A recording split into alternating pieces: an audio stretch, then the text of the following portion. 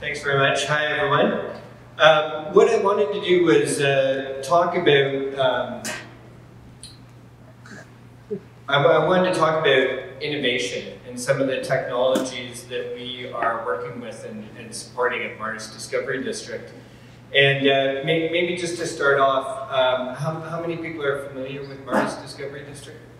Okay, so you know that we work with entrepreneurs trying to help them grow their businesses, providing advisory services, connections to capital, connections to customers. Um, you know, what I've, I've, been involved there for uh, a long time, my background is in uh, building clean technology companies.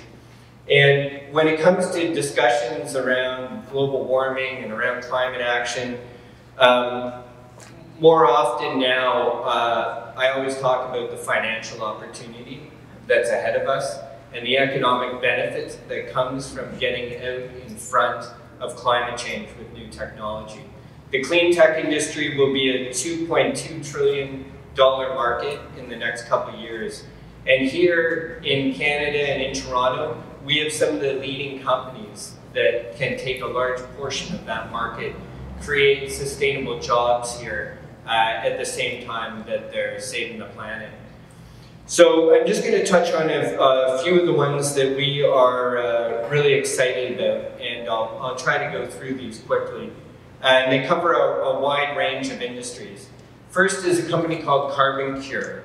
So Carbon Cure is all about uh, making um, cement in a way that isn't quite as damaging for the environment.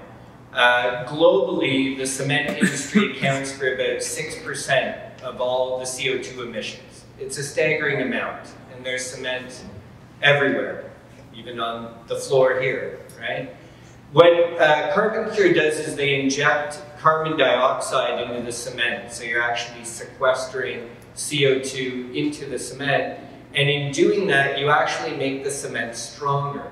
It means that you can use less cement.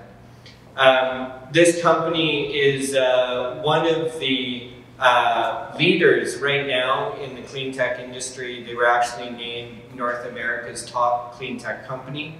And great that it's a, uh, a Canadian example that we can point to and one that we can all get behind.